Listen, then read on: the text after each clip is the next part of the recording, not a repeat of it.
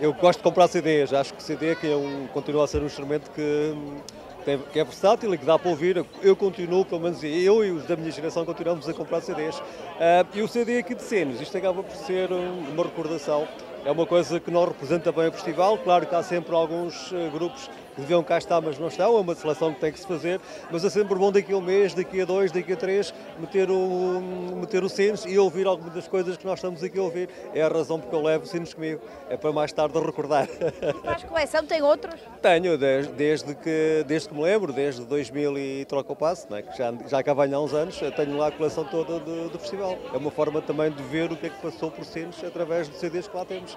Porque gosto de ouvir em CD e é uma memória, fica, fica guardado. Tu ainda consegues ouvir isso? No carro.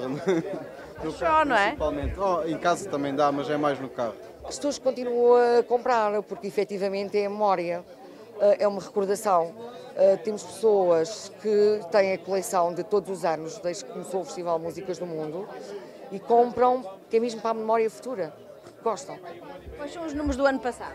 Uh, o ano passado estou em crer que foi à volta de 1800 a venda de CDs. Eu também ouvi dizer, esperemos bem que sim, voltemos aos bons velhos tempos, porque é uma boa memória. Há quem pergunte pelo vinil? Uh, eu, a mim, propriamente, não, mas tenho conhecimento que sim, que procuram e que estão ansiosos para que haja.